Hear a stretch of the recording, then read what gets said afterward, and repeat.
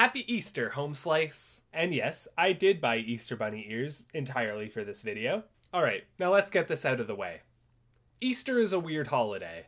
First off, why did they play the Ten Commandments at Easter? Moses died like a thousand years before Jesus, so that doesn't make sense. So what's the deal with that? Hey everyone, um, I just want to clarify. I just looked into it, and apparently the Ten Commandments is played on TV this time of year because it's in celebration of Passover, not Easter. That makes a lot more sense. Enjoy the video. And secondly, what is up with the Easter Bunny? Why does he have just a complete lack of lore? I mean, Rankin Bass made several Easter Bunny movies, two of which were origin movies, and they completely contradict each other. And today I'm actually going to be talking about one of those movies. In honor of Easter, I will be reviewing Here Comes Peter Cottontail. The movie. Now, this was actually a sequel to the 1971 movie Here Comes Peter Cottontail, but of course, none of the original cast is in it, and it has a completely different art style. And this movie, it feels low budget, despite having some pretty big names attached to it which we will get to. So, without further ado, let's just get started. So, this movie opens on an extremely long opening title sequence, and then we meet the film's narrator, Seymour S. Sassafras, who's the same narrator from the first movie. However, in the original, he was voiced by Danny Kaye, and he was designed to look like Danny Kaye. So the question is, why didn't they make it a different character? Because he's designed completely differently, and it's not like they designed him to look like the actor, because the last time I checked, Christopher Lloyd does not look like this. Soon, Peter Cottontail will be hopping down the bunny trail. So basically, he just recounts the events of the first film and how Peter Cottontail defeated the evil Iron Tail. And they use clips from the original movie, which feels out of place with this movie's art style. But moving on. Here we are, April Valley, where all the magic happens. Easter magic, that is. And everybody's getting ready for the big day. Wait, what? Everybody's getting ready for the big day. The big gay? Big day. You all hear that too, right? Big day. Seems legit. So here we get to see April Valley in a very silly symphony kind of way. We get to see how the Easter Bunny does what he does. What does the Easter Bunny do? Because I feel like with Santa, we had a very clear idea what he did. Elves made the toys, he delivered them with a sleigh pulled by reindeer. Not that difficult to understand. But what does the Easter Bunny do? Like, he's making all these chocolate eggs, but I don't know. Easter Bunny's weird. What does a rabbit have to do with eggs? I don't think rabbits lay eggs. Do they? Probably not. And you know what? Let's just get this out of the way now. Let's talk about the design of the characters. So, they're bunnies. What's something we all know about bunnies? They're cute. They're cuddly. They're soft. They're bunnies. So, why did they do this? Look at that. That is so ugly. And like the main character is a bunny, and we have to look at this the entire time. you are my bestest friend. What is that thing? He's so ugly.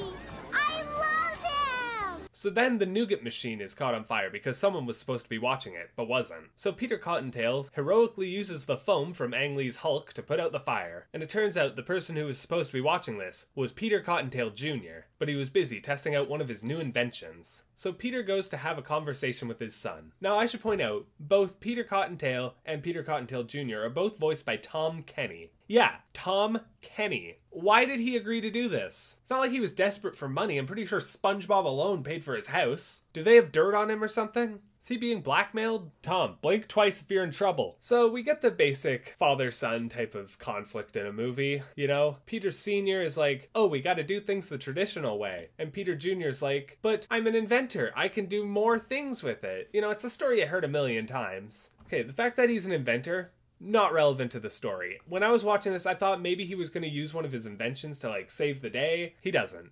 So let's get all hope out of the way there. And Peter tells the story of how he defeated Irontail for the hundredth time already. Have I ever told you the story of Irontail? His, His evil, evil trickery, almost, ruined, Easter, forever. Have I told you this before? Once or twice. I feel like it's the story he brings up at every dinner party. Someone will be like, My son got a science trophy at school. And then Peter's just like, Yeah, well, I defeated Irontail and now I'm the Easter Bunny, so we're all doing things. So yeah, after the cliche father son stuff, we get a song. And other than the weird art style, this song's kinda good.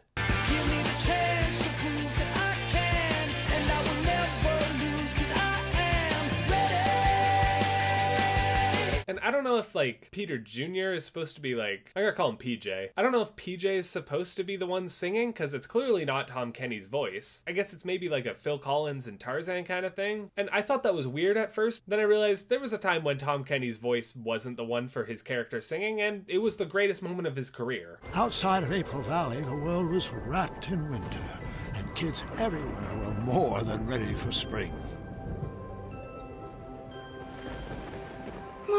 Winter ever be over?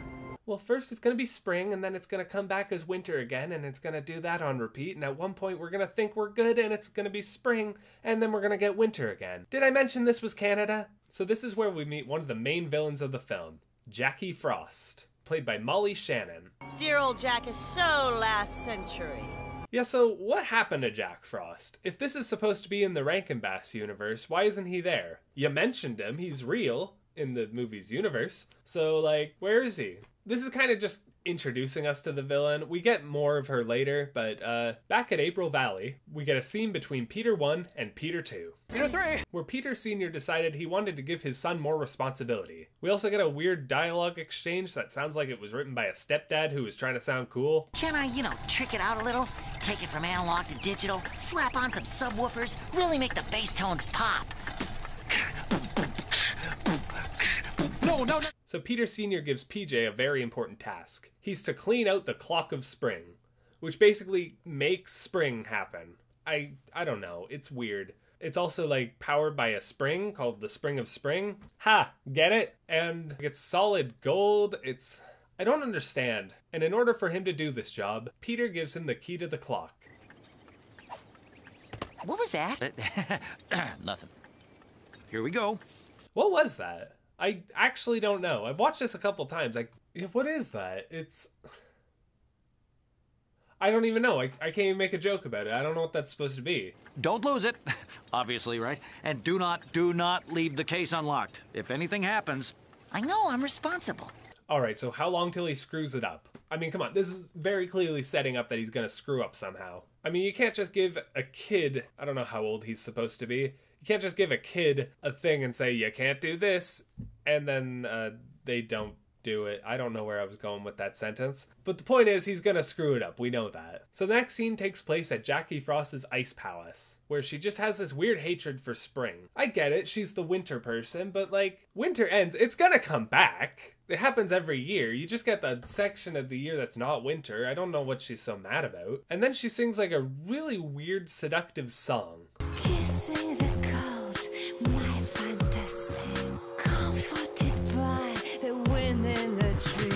This was a kid's movie, right?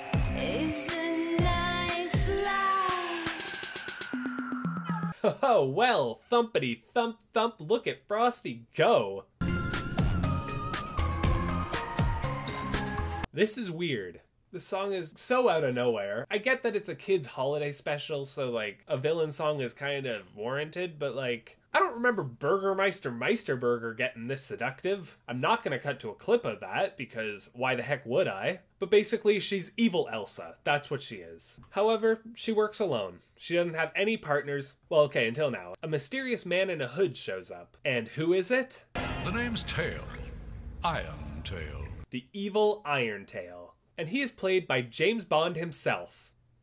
Earlier than that. Okay, a little more. Nope, nope, that's too far. There you go.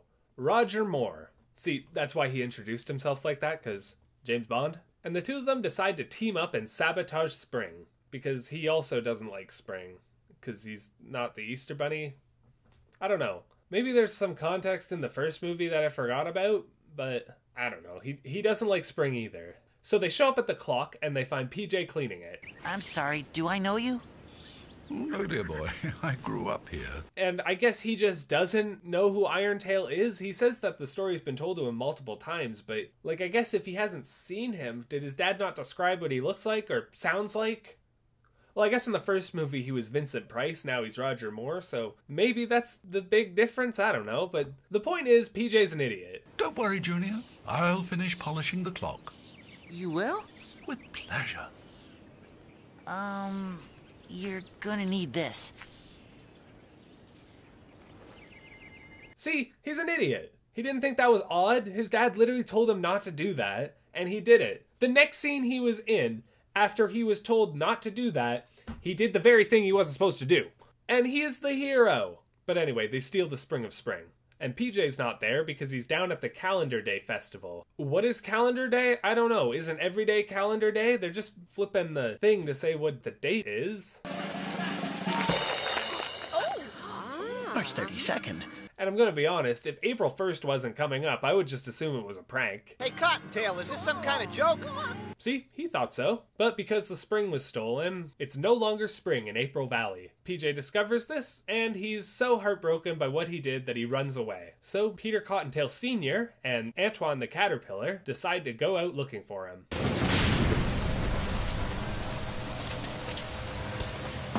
Antoine, I can't get across. Never fear, Peter. I will find your boy. You're a rabbit. Just hop over the bridge. I'm sure the water's not that deep, maybe. It doesn't even look that far. Is there no other way out of April Valley? You don't have to send just the slow French caterpillar. I think he just didn't want to go and he was looking for an excuse. So Antoine goes alone. And I'm gonna be honest, Antoine is my favorite part about this movie. He just gets his own little scenes every so often, and they're actually somewhat amusing. Back at Jackie Frost's place, we get this.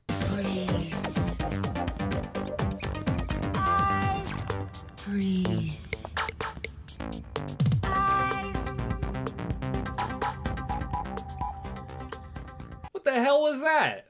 So the two of them now decide that spring wasn't enough, and now they're gonna take over summer. Why wasn't that the plan before? Was their original plan just for winter to be slightly longer because there's no spring? I need to ask. Maybe it's because I'm from Canada. Is spring real? It doesn't really seem like we get spring. We get warm winter and then cold summer and then it's summertime. Spring is not real. I don't believe in it. It doesn't really make sense because they took spring away, but summer's gonna happen. Is there no build up to the summer? This plan makes no sense. So PJ runs all the way to Summer Hill, where he meets Kenan Thompson as a robin. And I want to point out this bird does not shut up. And my feathers. You definitely scratched my feathers. Now wait, you just. And I itch now. Neither does his mom. What have you done to him? What were you? He's molting. He's smaller than the other birds, and you done gave him lice? But the bird's mom convinces him to help PJ find the clock of summer, while she stays behind and sits on his brother. He's still in the egg. That makes more sense. But they're too late. The sun of summer is gone. And then we get a scene of Antoine. Don't worry, Junior. I am on my way. So then we get a weird scene of a mouse, played by Miranda Cosgrove, and I already forgot her name. It doesn't matter. She's first dragging food through a cornfield, and then she runs into a cat, runs away from the cat, and then gets picked up by a bird, and then the robin is chasing the bird to save the mouse. And at this point, I'm just like, what was wrong with ripping off Christmas movies for Easter? They weren't original, but they were memorable. They were entertaining. I mean, both Winnie the Pooh and VeggieTales made an Easter Carol, and those were both fine. Like, you could do that again. At Christmas this year, I watched a movie called Fat Man, where this kid got cold for Christmas, so he hired a hitman to kill Santa. You could do that. Do that as Easter. The kid got, like, a rotten egg or whatever the Easter Bunny does for bad kids, so he hires a hunter to kill the Easter Bunny. That could be good. Call it call it Fluffy Boy. I'm just brainstorming here. Oh, up.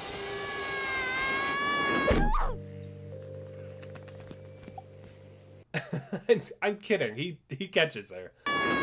Gotcha. Now the three of them team up. So we've got a trio of Nickelodeon actors, and they're on their way to the Clock of Fall. But we get Antoine again. Oh, I love watermelon. So they get to the Clock of Fall just as the bad guys are robbing it. But the gang manages to steal the pieces back, and Irontail steals them back almost immediately after. Irontail. What? Wait, I knew that. You should have known that too, idiot. All hope is lost. Your baby brother is never gonna hatch. Your family is never gonna have anything to eat. To the extreme, apparently. And that's where they find Colorland, where every color that's ever existed is. And get this, they meet Seymour S. Sassafras, and he like narrates out loud as things are happening. It's a little weird. It makes me question how this world works, but you know, it's a cartoon. I can let it slide. So then Mr. Sassafras puts them in a magical bubble that can take them to where they need to be. Then we get a music sequence with a completely unjustified father-son montage. I mean, they had what, two scenes together? And we didn't really learn much about them other than Peter Sr. is the Easter Bunny. Peter Jr wants to do new things. It, as cut and paste as it can be. And we get an Antoine scene. I'm meant to do that. And back in the bubble, they hear a strange noise and they just immediately panic. But it was nothing to fear, it was just talking wind. Played by David Koechner. Yeah, this scene goes on way too long, as do most scenes in this movie. It's only an hour and like 10 minutes long, but boy do I wish it was shorter. And he eventually agrees to help them get to the winter clock. Mr. Sassafras said if we ever needed to get down, just pull the ripcord.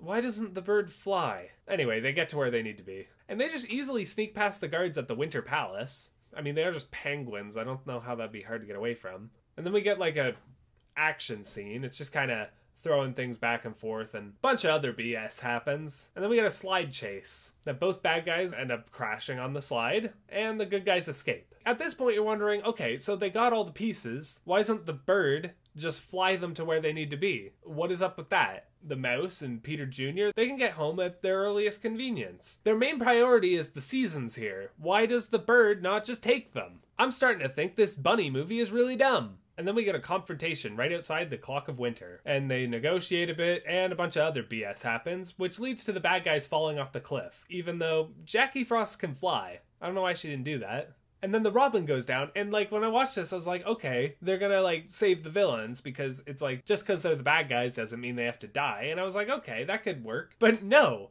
the Robin just goes and saves the pieces and straight up lets the villains die. That's murder. He murdered them. Or I guess it's attempted murder because they do survive, but we'll get to that. So suddenly Antoine and the Wind arrive and they just take them all home. So yeah, seasons are saved, everyone goes home, and villains return, and uh, he uses the key to the clock to help freeze them, and the movie's over. If it felt like I was rushing there at the end, it's because I was, because the movie was. And yeah, that's the end of the movie. Things to make your Easter brighter. Or is it?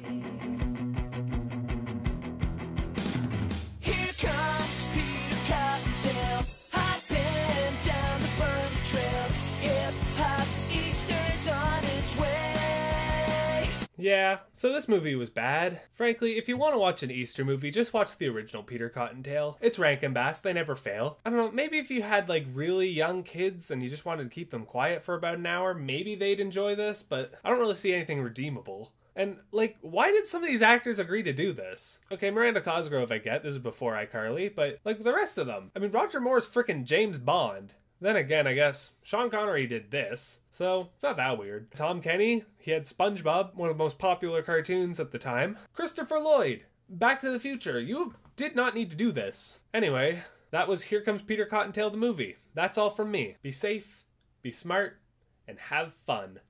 Peace out, Home Slice, and happy Easter. And now, an important message. Thinking of buying your kids a real rabbit for Easter?